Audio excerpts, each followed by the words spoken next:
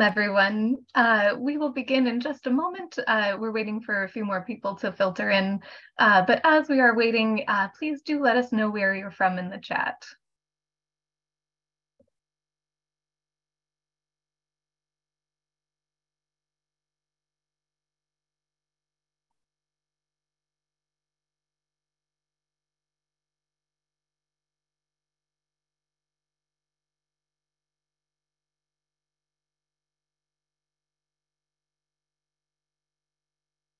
Looks like we have such a widespread group. That's awesome.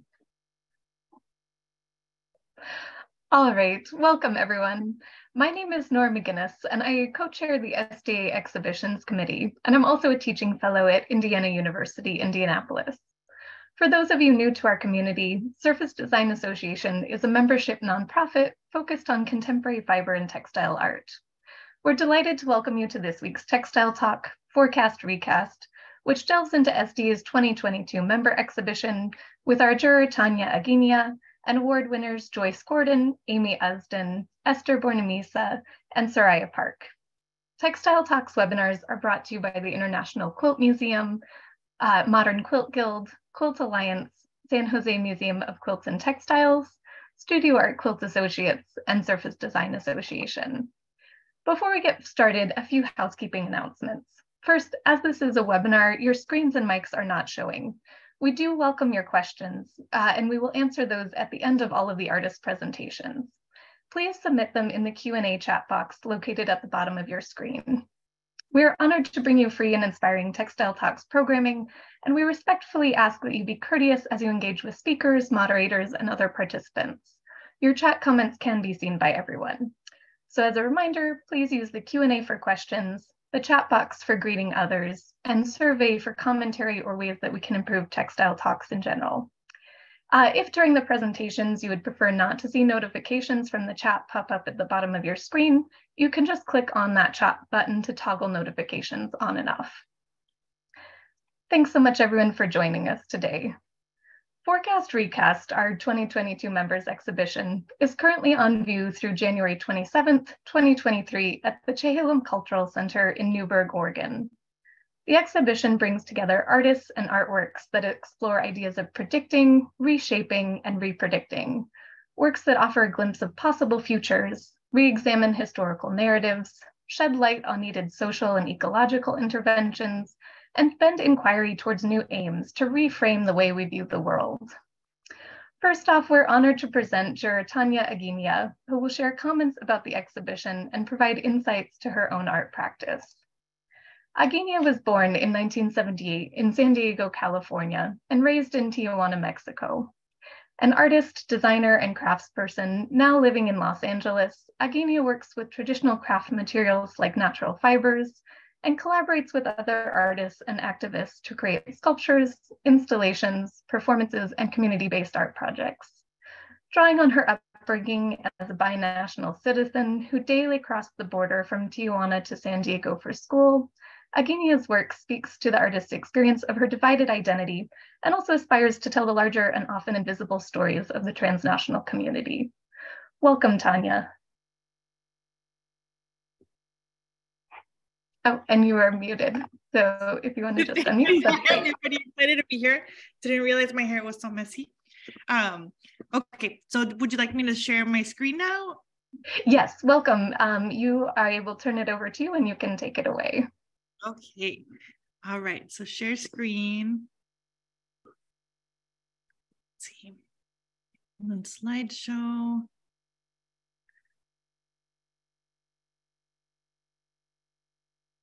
Okay, and then I'm trying to, okay, there we go. Yep. All right, so hi everybody. Um, so when we were in our planning meeting um, to talk about the the presentation today, um, everybody let me know that there was going to be lots of people viewing from all over the world. So there's a little bit more. I'm sorry, those of you that are familiar with California and Mexico, there's a lot of um, images that kind of tell people where I grew up, um, thinking about the, the global possible viewership. Um, and so, yeah, so my name is Tanya Aguiñiga, and here's an image of me in a glass suit uh, that I did a performance, a durational performance in, uh, that you can view on my website or on Art21. Um, so the largest thing to know about me that influences a lot of what I do is that I grew up a few blocks away from the US Mexico border. so I actually grew up in the part where the border cuts into the ocean um, on the Mexican side. And so I grew up in Tijuana, um, but cross the border every day to go to San Diego on the US side um, to go to school. And so crossing the largest um, port of entry in the world every single day um, from the age of four to 18.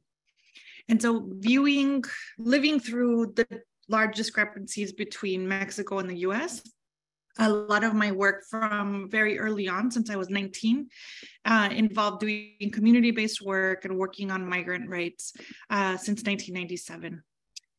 And so I am a craft based artist. And for me, craft is art, it is also design, it is culture, it is object, it is human. And so formally, my work kind of meanders between art, design, and craft formally, and informally, it's more about content, function, and technique. So my formal background, my training is in furniture design. Uh, so I have a master's in furniture design. And a lot of what I learned in furniture design actually crossed over in my brain into working with fiber. So a lot of things about um, the directionality and strength and thinking about what makes good engineering um, when building and when making forms um, is what I um, crossed over into my work with fiber. And so when I was reading this book not too long ago called The Life of Lines by Tim Ingold, uh, what I realized is that so much of the work that I do and the different threads that kind of make up the work that I do have to do with joinery. And so from wood to fiber to working on the border or working communities, a lot of my work is about joining two different opposite things at times. And so I wanted to kind of walk you through one of these like my explorations with one of these um, materials and so this is kind of talking through um, you know process and learning and thinking about access and sharing um, through felt and so when I started making furniture, um, one of the big things that I was known for is that I was doing wet felting on furniture. And for me, it started with thinking about my border identity. Um, but then very quickly, it kind of changed into different things for me. And so quickly, I started thinking about um, furniture and thinking about the industry that I was a part of at the time, and how are, how am I in dialogue with the histories that I'm that I'm a part of, and thinking about the materials that I use, um, how do I communicate more effectively through the processes, and so I did um, wet felted chairs for a very long time, and then got to a point where I thought about, you know, the artist's object and um, objectification of, of artists. Um, and I thought, what happens if I put myself through the processes that I put my furniture through?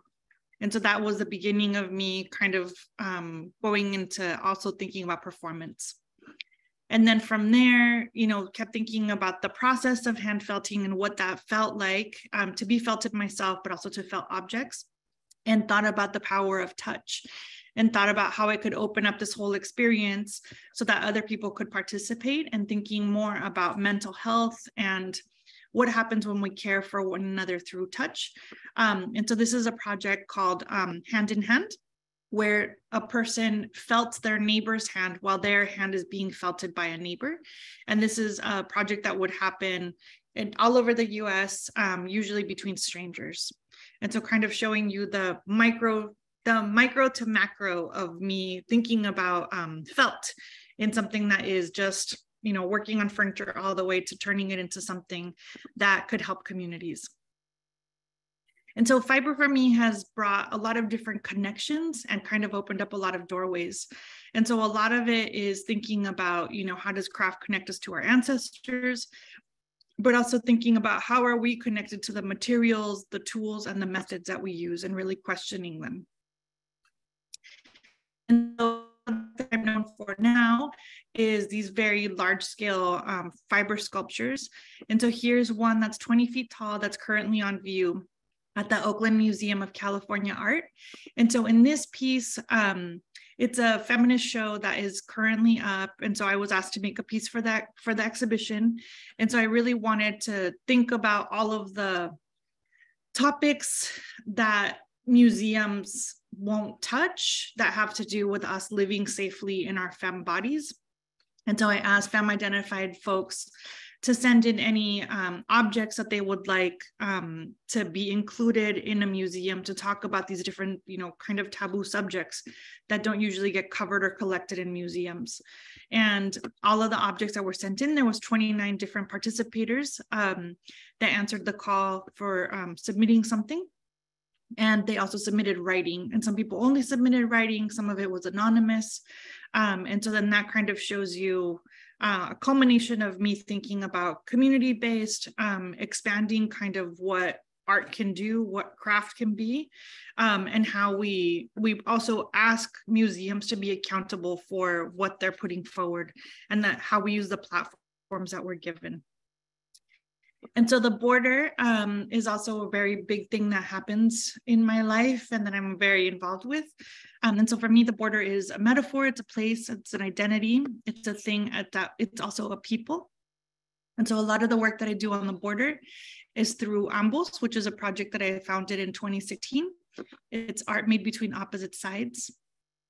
And one of the largest projects that we did was the border Quipu, so thinking about the Quipu, the Incan um, organizational system of strings, um, what we did was we, myself and, and my collaborators, engage people that congregate at the border, that make their living at the border or that cross daily. And we gave them a postcard with two strings saying these two strings represent the relationship between US and Mexico, ourselves at either side of the border, and or our mental state while crossing, and then ask people to make a knot.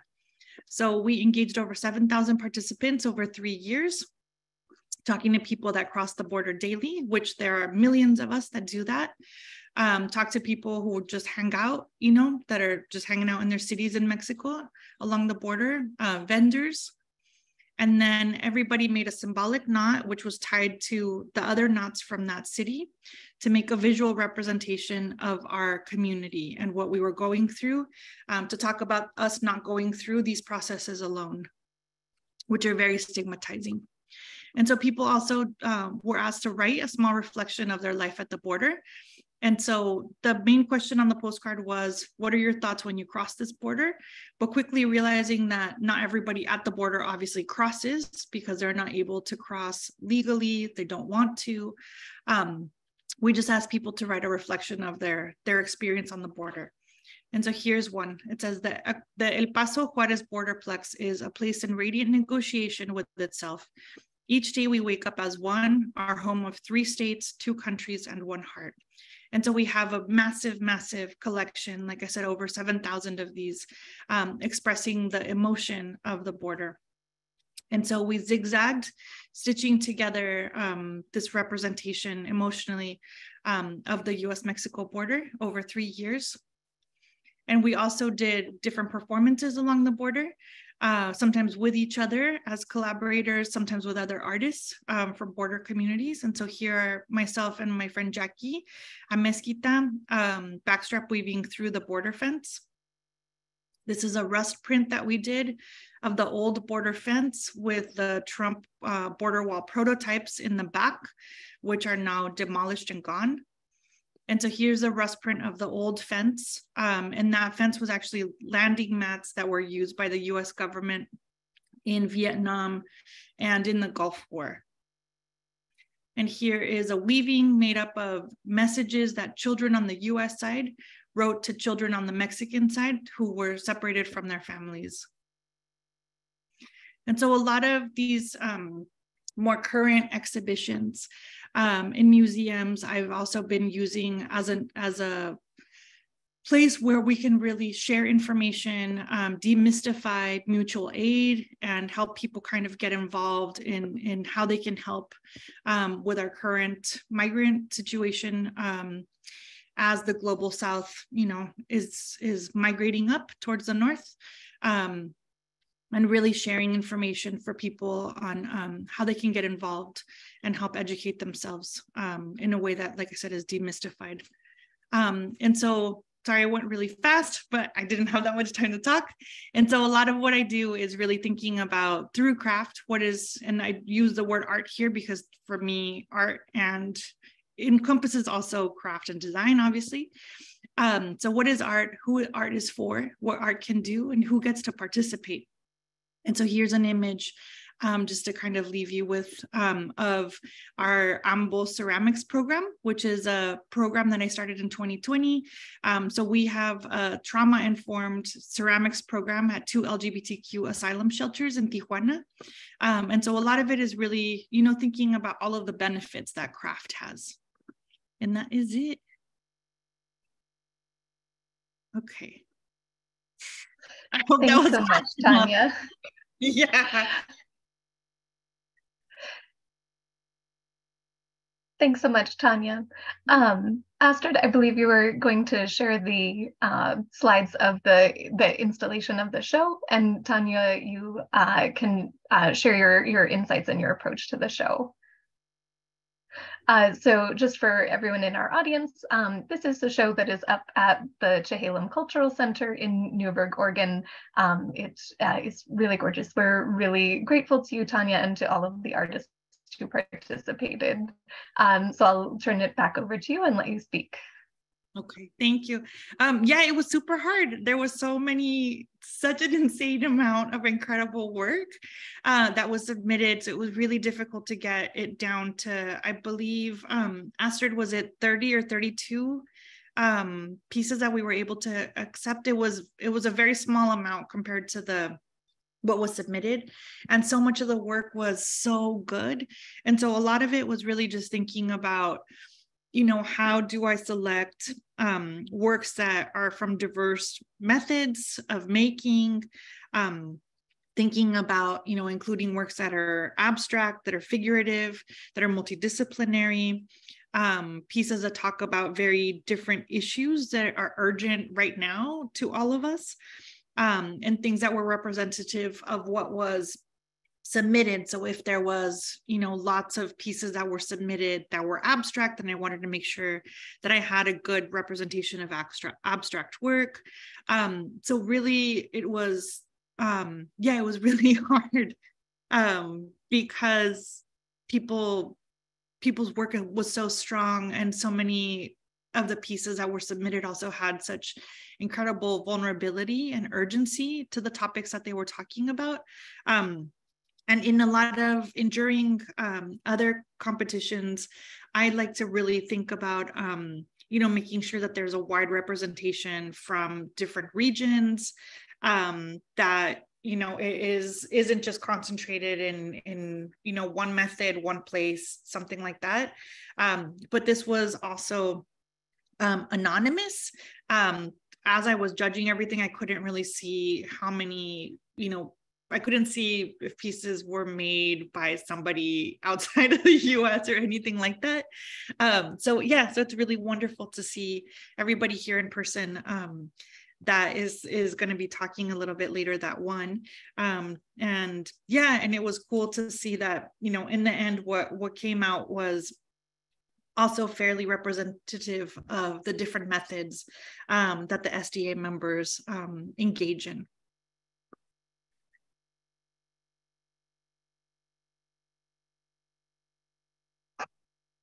Thanks so much, Tanya, uh, for both presenting your own work and giving us that um, insight into your own practice, and then also your, your thoughts on the show. We really appreciate it.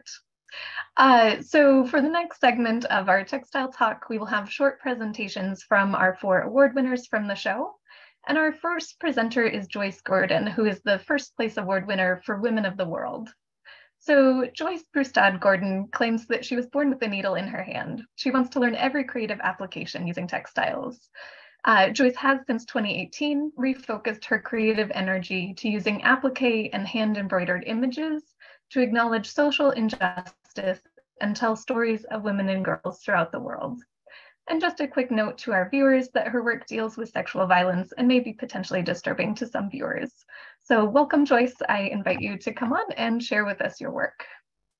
No, thank you. I am absolutely, I can't believe that I am part of this exhibit when I have seen all the beautiful pieces. Um, I am humbled as a, a 73 year old woman, I'm going to cry, who is find, I'm finding my voice And at the same time, I'm helping all these women express their voice. Um, and their, their lives have been not so good and they um, have been silenced. So I wanted to give them a voice and came up with this plan to, to do these pieces, but they were going to be full sized with people walking into an exhibit and they would have to be confronted full size by these individuals. And eventually I talked to um, Jane Dunnewold, uh, had a, a wonderful um, opportunity to have a like a 40 minute talk with her when she came up to this area that I live in, which is in Washington state. And she loved my idea and really encouraged me to go forward with it. And it really wasn't until 2018 that I decided to go ahead and start them. Um, I was really worried about 20 years ago about the feeling vulnerable, my feeling vulnerable, um, and kind of like a feeling of nakedness to express myself and to bring these women forward. And I was worried about re victimizing them by doing so. So I try when I make them to give them just a, a really, I, I, I, try, I'd make them out of, out of fabric that I hand uh, embroider and then um, uh, needle turn uh, applique. I, I could do it a different way where you bond them, but I thought that wasn't uh, really very, there wasn't a very good idea to do it that way because they didn't, they didn't look as good. This way they look more like they're loved and they're deeply, dearly loved by me. So I, I'm so thrilled to be here. Thank you.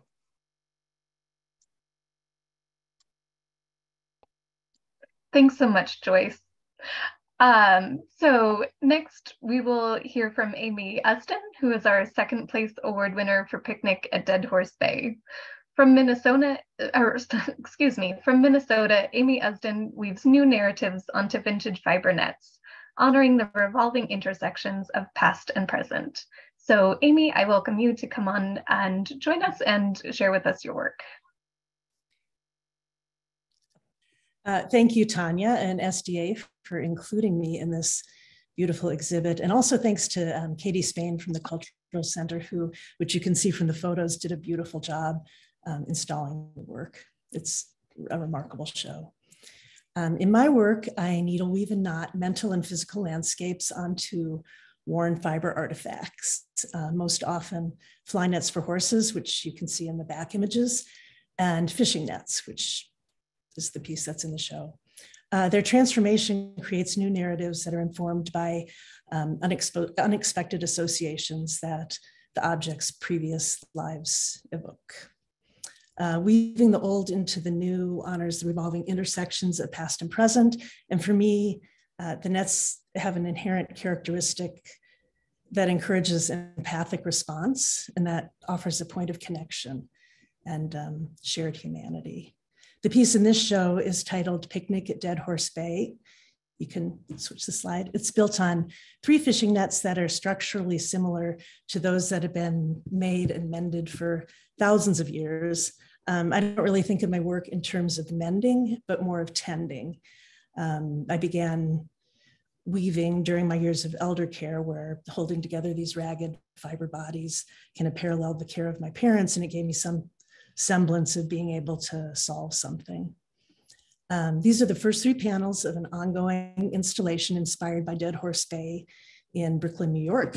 And if you don't know the history of Dead Horse, in the mid 1800s, the streets of New York were filled with um, overworked horses and eventually horse carcasses. Uh, Barren Island, just off the coast, became home to rendering plants where they would process the horses into fertilizer or glue, and then they would toss the boiled chopped bones into the water. Thus the name Dead Horse Bay. The invention of cars meant fewer horses to process, so the plants eventually closed in the 1920s. And soon after, uh, Parks Commissioner Robert Moses literally bulldozed his way through the city in the name of urban renewal. One of his big ideas in the 1950s was to connect Barren Island to the mainland through the use of landfill. And um, he did this by razing entire neighborhoods of people who didn't have the time or the means to um, pack up their things. Um, so anything left behind was dumped into the water offshore as part of this landfill. And the landfill is so poorly capped that it still continually leaks the broken remnants of these lives onto the beach. You can find everything from you know, razors to shoe leather to toys to broken china to Chinese glass bottles and still the bones of these horses. And um, it's quite a moving experience for me to walk along the beach.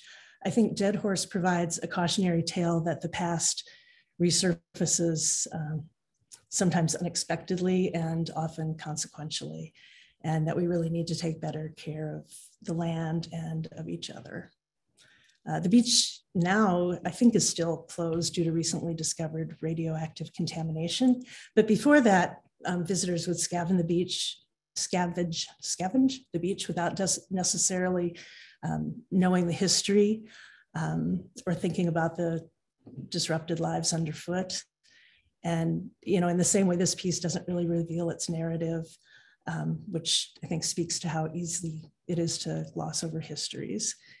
And if you happen to be in LA, uh, two new panels of this installation will be hanging in Ruinous Ravishment at Patricia Sweetow Gallery that opens January 14th with um, two other artists who do incredible amazing um, surface design, Christopher Miles Ceramics and Jamie Vasta, who does glitter paintings.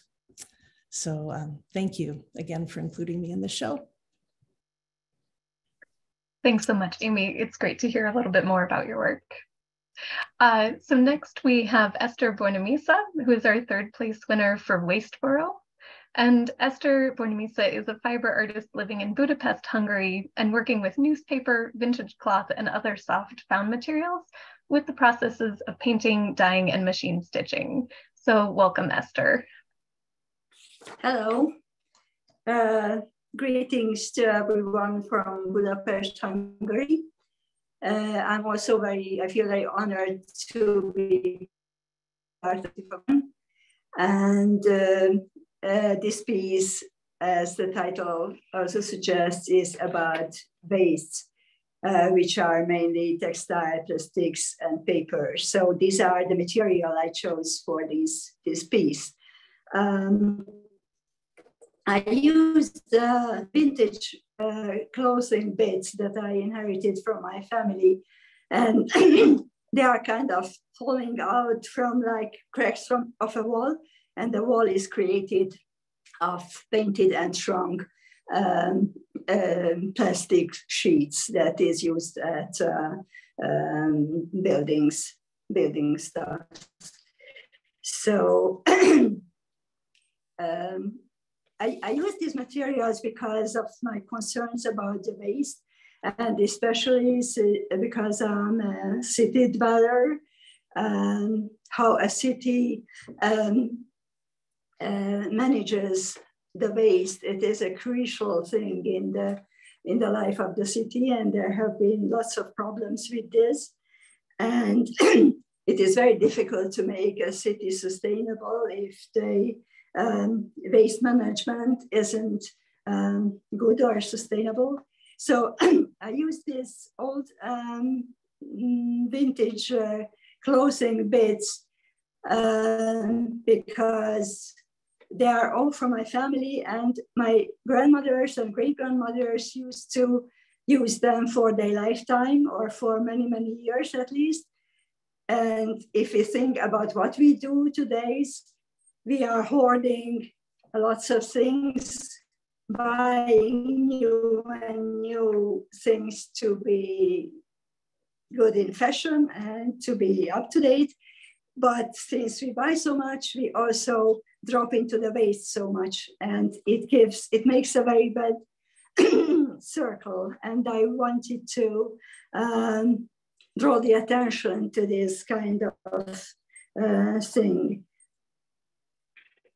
Um, yes, if you could please show the next one. I wanted to talk a little bit my, about my other work that is also related to the work that I have at the Forecast Recast ex exhibition.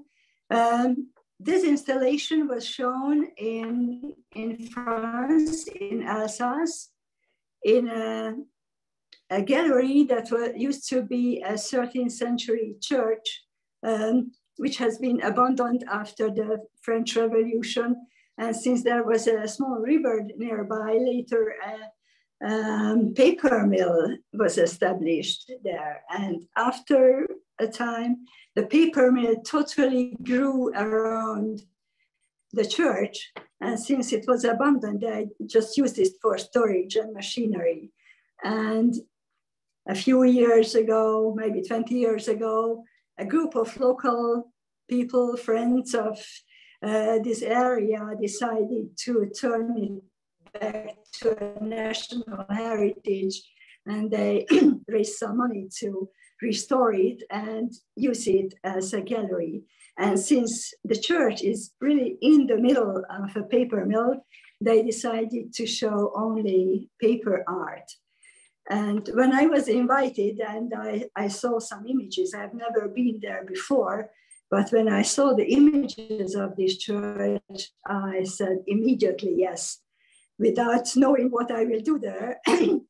and I was also offered to use some of the paper that is produced uh, in the mills. And they only uh, rework uh, waste paper and they, they produce uh, various kinds of cardboards. So I, I worked for there for a week about and cut out, if you can see, these um, life-size uh, abstract human, humanoid figures that all have a little window in them that has another map in them which relates to the big panels. These big panels that surround them are about three meters high. And these are earlier works of mine, all made of newspaper. And they are the city dwellers who, who have a little part of the city in themselves. Uh, like we all have a kind of a city inside us, a pattern of movements and passes and where we go and how we go.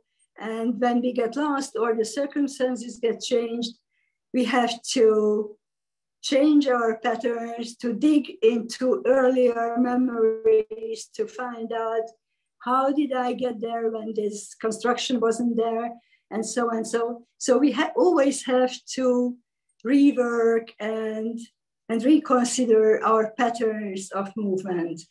And this is a physical thing, and I use it as a metaphor for finding our identity, both uh, physically, mentally, and spiritually.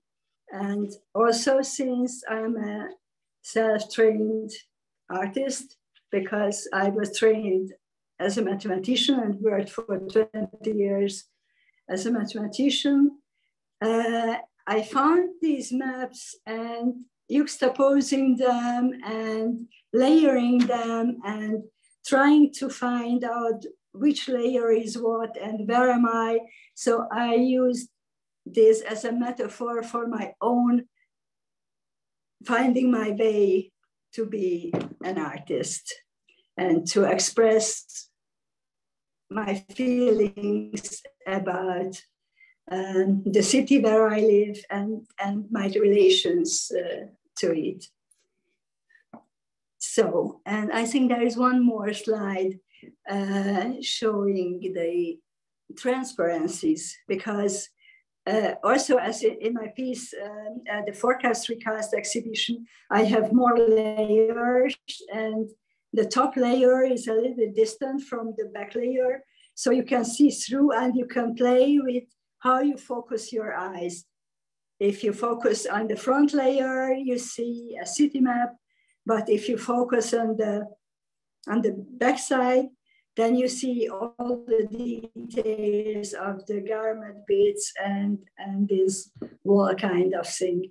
And here you have maybe an impression how you feel when meandering among these personalities and the panels and see through and and play with focusing your, your eyes on the front thing or the thing behind or the thing behind, behind, and behind.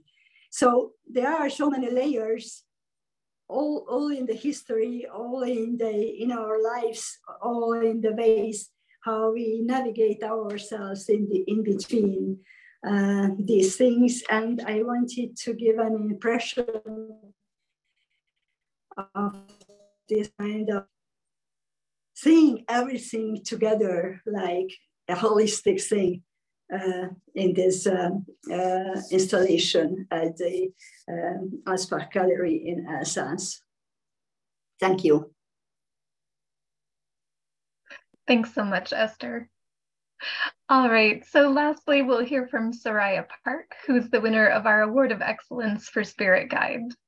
Sariah is an interdisciplinary artist who works across the mediums of fiber, print, and fashion design. Her work asks important questions regarding consumerism, post-colonialism, and societal waste.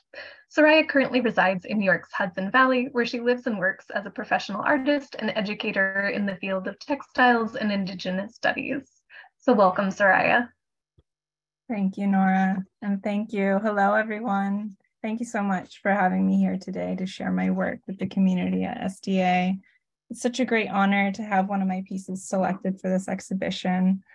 Um, as Nora mentioned, I'm an interdisciplinary artist. Um, I work across those mediums of fiber, print, and fashion design. Um, I'm an artist and educator at Parsons School of Design here in New York City. Um, this particular piece in the exhibition is called Spirit Guide. It's part of a much larger body of work that I embarked upon as a way to reconnect with my Native ancestors. Each piece in the series represents the spirits of my ancestors. The pieces in the series combine many methods of craft, textile making, and surface design, such as weaving, paper making, and printmaking. The process of printing my textile paper leaves behind a memory of the woven cloth, drawing the viewer in to see the intricacies of the textiles itself. In my years of working as a textile artist, I find that many people overlook or take for granted the, the labor of cloth. Um, we wear textiles on our bodies every day, and rarely do we consider who made the cloth, how is it constructed, or the histories behind the making. I find that the works in this series confront the viewer and ask them to take a closer look at the materials that make up their own lives. Next slide, please. So most of my work explores my indigeneity and asks important questions around waste and systems of value. Growing up as a mixed race person, I lived between two worlds within very two very different worldviews. I'm a member of the Chiricahua Apache Nation. My father's ancestors have resided in the region of the Southwest uh, since time immemorial. I see my work as a conduit to my Native ancestors. The original piece selected for the show was called Ghost Dancer. This piece on the right is very significant to me because it was one of the first pieces I created after my father's passing. It, uh, the act of creating this piece helped me to see that our spirits and the spirits of our ancestors are still connected. The ghost dance is a very significant traditional ceremony that's practiced across most of the western part of Turtle Island. This sacred ritual originated to reunite the living with the spirits of our ancestors and was meant to bring those spirits to fight against the westward expansion of colonization, to bring peace and unity to the indigenous communities of the West. This process of making has brought me peace and a sense of unity with my father and my native ancestors. Next slide. This is just another shot of Ghost Dancer. Next slide. Um, the pieces you see on this last slide are from another body of work entitled Printing with Waste. Every year, 92 million tons of textile waste end up in landfills. After years of working as a textile artist and seeing this waste creation firsthand, I wanted to make work that addressed this problem.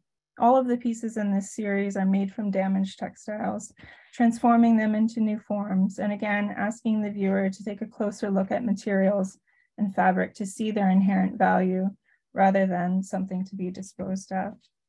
Thank you so much for allowing me to share my work today. Thanks so much to you as well, Sariah. Um, and a big thank you uh, again to Tanya and all of our presenters today. Uh, we now, we are right on schedule, so we have time to answer some audience questions. Uh, so as a reminder, please enter your questions in the Q&A um, and leave the chat for comments uh, if you just want to leave a comment for an artist. Uh, so I'll invite all of our presenters to um, come on, turn their video back uh, on and come on screen and we'll do Q&A and discussion. Welcome back, everyone. All right. Uh, to start off with, Tanya, we have a question for you um, from Lee McLean, uh, asking, do you consider the scale of your of the work when you are making selections for a show or for this show in particular? Yeah, for this show in particular, um, I had to. There was a lot of larger pieces that um, I wanted to include, or pieces that were more site specific or installation based. Um, but the space didn't have the gallery footprint didn't have enough um, yeah space for us to include all of these bigger pieces so unfortunately um, for this one i did have to kind of pare down to a mixture a sampling um, of different sizes rather than have a lot of large pieces thanks tanya uh, also, Joyce, we have a question for you. Uh, Nancy Riffle appreciates your figurative work and asks, um, did you make the figures and then apply them to the larger pieces, or did you embroider the figures directly onto the, the larger backgrounds? Oh, and you're you're still muted. All right. There we I are. First, I first make the figures and um, I make a guide and I put them back the linen, I'm able to have them exactly where I want them. And so I first do that, and then I um, hand order them on, and then I work on their faces and um, and all the details. So they're awesome. they're all handed. They're all you know they're all uh, uh, appliqued. Thanks so much. And I actually have a, a follow-up question for you as well. Uh, do you, I'm interested, do you see a connection in your work between using hand stitching and embroidery, which at least in many Western traditions are, are kind of traditionally done by women, and using those, those techniques to tell the stories of women and girls? Is that something you're, you see in your work? what what I've heard is that women do protesting with with embroidery and with textiles. And I thought that's basically what I'm doing. I'm a one woman protester who's telling stories, but, but not my stories. I'm telling the stories of women from the past and from, unfortunately, the present. And so that's what I, I believe that's what I'm doing. Thank you. Thanks, Joyce. All right. Uh, also, a technical question for you, Eszter. So, can you explain uh, your technique and particularly how you accomplish the gridded stitching? Um, yes, I so I use, use newspaper and I use uh, water soluble fabric or paper, whatever is this called. so I I copy my pattern on the water soluble, put the newspaper on it, stitch around the lines that I drew, and then I cut out the streets. So they are usually maps. And so the, the street system comes out and the blocks, the houses, they remain and they are stitched on the water soluble. And then I stitch it to and fro 100 times, and then I get the grid.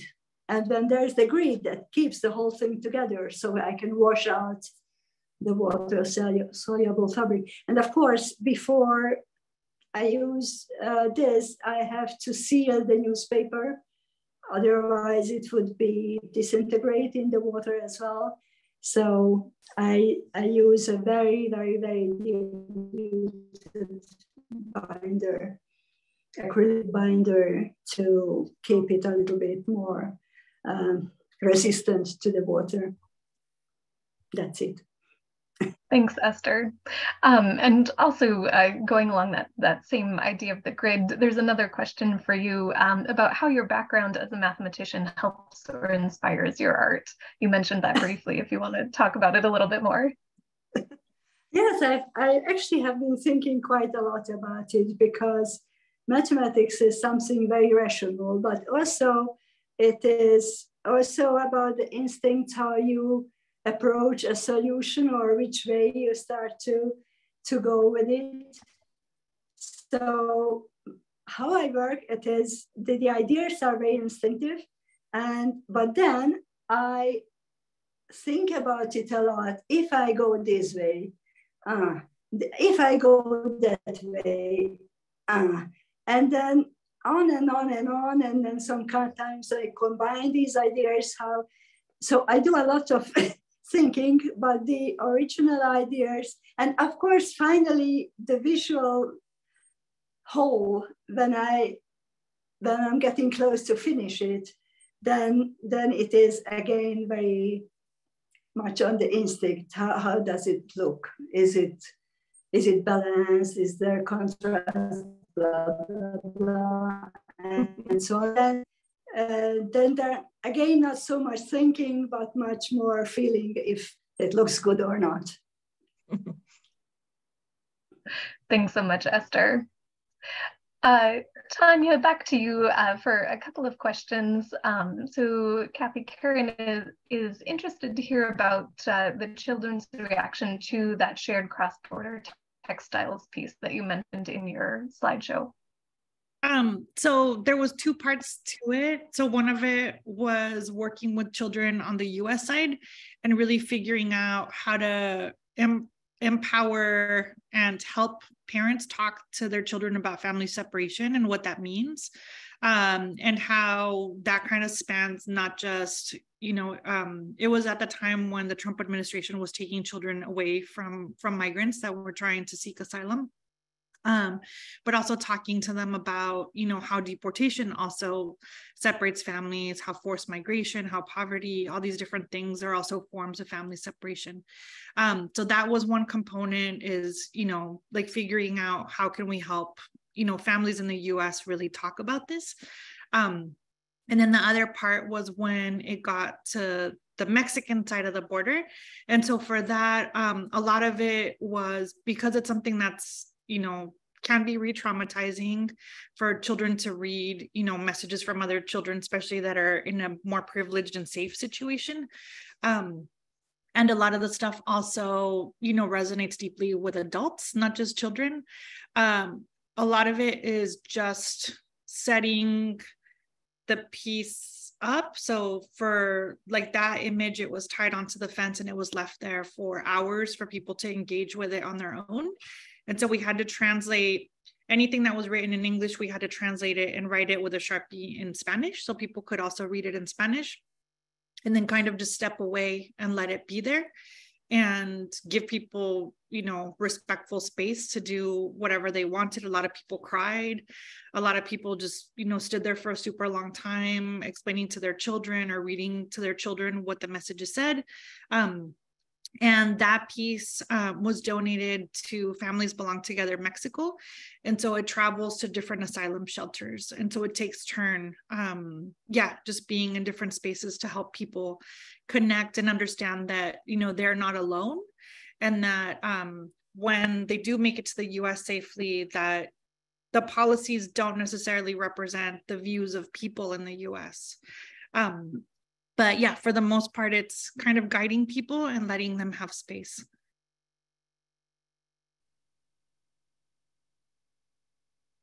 thanks tanya i appreciate it uh, so Raya, we will come over to you. So you have a couple of different questions, which I will um, combine, but can you explain more about the processes you employ in the making of your work? Um, and folks are interested in both your monoprints and your textiles. Oh, great. Um, yes, I started out my career as a textile designer uh, for apparel.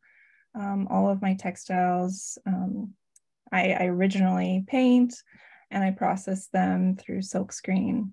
Um, but then I kind of started to transition over into more fine art processes. um, where I started combining um, my weaving with paper making and then into print making. Um, so it's it's a very multifaceted process. Um, but for the first um, series that you saw, the Spirit Figures uh, series, um, I start weaving like small tapestry uh, weavings on a small portable loom. Um, and then I pass them through the paper pulp and it creates this kind of woven paper. Um, and then from there, um, when they're taken off of the loom, they have a very kind of irregular shape, um, which is very figurative to me. Um, and then when it's passed through the printing press, um, you know, it's it's it's a lot of pressure uh, that it goes through, and it, it leaves that imprintation, that embossment of the weaving onto the paper. Um, and it picks up those really intricacies, like the tiny little minute details down to the fibers, um, which I found that that people really respond to and come up to and are really intrigued by the, the detail that I'm able to get um, in those pieces. Um, with the printing with waste, um, it's a much larger story, but I've been affected by climate change a few times. Um, but in 2018, my house was hit by a tornado and um, a bunch of my archive was damaged um, in that in that ordeal. So a lot of my original textiles that I developed were water damaged and they were still very symbolic to me and I couldn't let go of them. And I held on to them for quite a long time, trying to figure out a way to use them. Um, so I was trying this project of reprinting over my printed fabrics and I was trying to cut off um, the damaged edges that got water damaged. Um, and as those pieces were kind of piling up into these beautiful piles, I, I, it kind of sounds funny, but the, the fabric was kind of speaking to me and kind of telling me what to do with them. So I took them to the press um, and I started printing with those damaged materials. Um, and it, it created a very uh, kind of unexpected result. So that's that's a little bit about those processes. Thanks so much, Sariah. And I'm so glad that you were able to take something and make new work out of such a heartbreaking experience. All right. Um, and over to you, Amy. So uh, a technical question as well. How do you go about weaving into the nets? Or could you just talk about your process and technique a little bit more? With the fishing nets, I usually um, stretch them on a wall the nets in this particular show are grid based and I just needle weave in and out. Um, it's really feels more like stitching to me than weaving. Uh, when I use horsefly nets, I pin them to foam boards. Um, and again, just needle weave in and out between um, the ropes that exist. Thanks.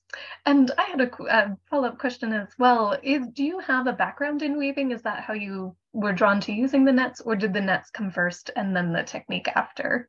I, I wove as a child, and then I took a inexplicable 40-year break. And when I wanted to start weaving again, I didn't have any equipment, and I hadn't thought about textiles in years, so I didn't realize you could weave on something as simple as a cardboard loom.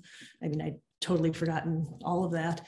And I happened to have a net and I, a, a horsefly net, and I just really appreciated its structure.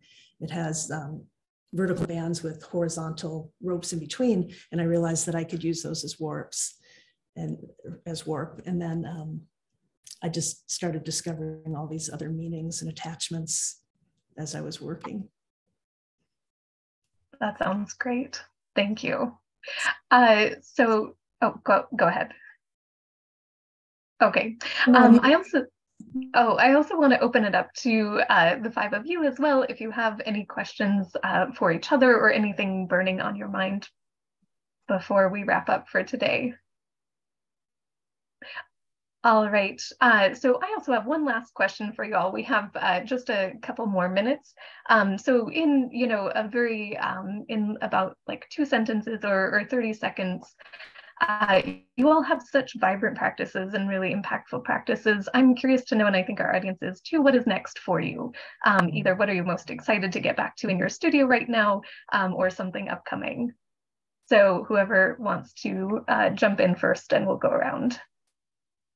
Well, I'll, I'll speak. Um, there are too many stories to be told. And I have a, a file cabinet full of my little three by five cards that I write down all kinds of ideas and what I hear on like NPR, listen to the radio. And I want to bring those stories forward in images. And so I am very excited about working with uh, rape in the military, for instance. And, and so I'm working on producing um, a font that's a human font that spells out rapists. So this this is kind of the work that I do, and it's probably why I don't talk about it often because it makes people uncomfortable. But I'm very excited about this process that I'm working on. Thank you for the opportunity. Thank you so much, Joyce. Okay. Um, I started my textile career as a quilter and about 25 years ago. and uh, recently I looked through my storage and I found a lots of old quilts, which um, I don't want to throw out. I don't want to sell them because they are not me uh, anymore. So I decided, I was thinking quite a lot and tried a lot of things what to do with them. And recently I find that I can do some kind of plastical surgery on them. Uh, hmm. so I add, add, add different layers and I changed them a little bit. They were very colorful at the beginning. So I tried to mute the color a little bit and then add certain things and find kind of narratives behind it, or not, not narratives, but processes or, or flow or something going on. And I like the process that I add something, it looks totally different. It gives an idea that it looks like something that resembles a, a situation we are now in. And then I try to build it towards that, but not too much, not, not too little. And I am playing with this. This piece behind me is one of the first ones in this in this kind of attempt, and I i really like it because uh, yes, when you when you are when you are aging, you start to think about what will happen to your storage. I don't want to leave a big problem for my children. No. so I they are waiting for a little facelifting. Thanks so much, Eszter.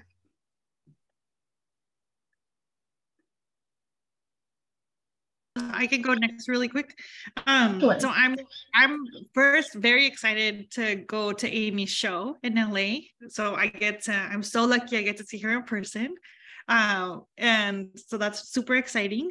Um, and I am starting a new project um, that's a collaboration using um, ice dyed um, garments and embroidery um, to raise money for one of the shelters that I work with in Mexico, one of the asylum shelters.